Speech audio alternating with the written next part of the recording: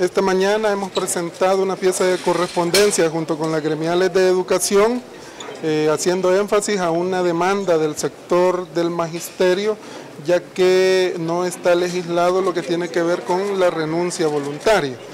La pieza corresponde en legislar en el artículo 30 de la ley de la carrera docente y estipular en este la renuncia voluntaria con indemnización.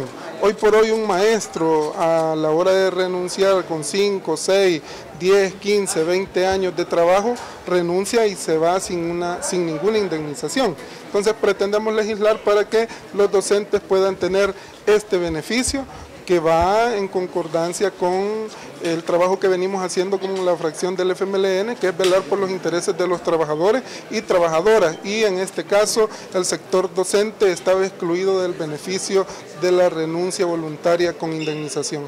En este caso específico van a ser o va a poder optar a este beneficio a la hora de ser aprobado los más de 45 mil docentes a nivel nacional. es un beneficio para toda la población del Magisterio Nacional porque si tiene uno, dos, tres, cinco, siete, no importando el número de años, va a poder eh, someterse a incorporarse a este beneficio. El movimiento pedagógico este día respaldamos esta propuesta, esta pieza que el grupo parlamentario del FMLN presenta con la finalidad que hemos tenido maestros que por la situación de delincuencia que vive en algunas comunidades de problemas sociales han tenido que renunciar y se han ido sin nada, sin cinco.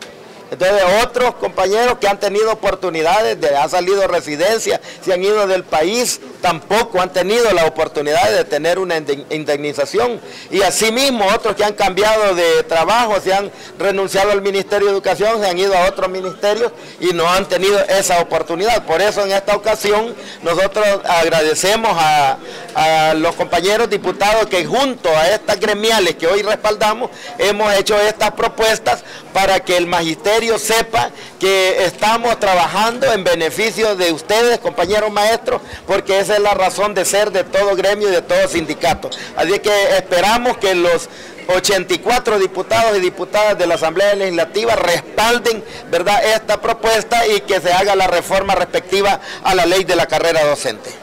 Hasta este momento, pues esto es parte pues, del proceso de dignificación magisterial. Son cinco iniciativas de, proyectos de decreto que se han, se han, presentado este año, en la cual pues, nuestra organización ha acompañado como parte, pues repito, del proceso de dignificación magisterial. Hasta este momento, pues el Magisterio Nacional estaba excluido de ese beneficio que todos los demás empleados públicos que les regía la ley de servicios civil pues los amparaba.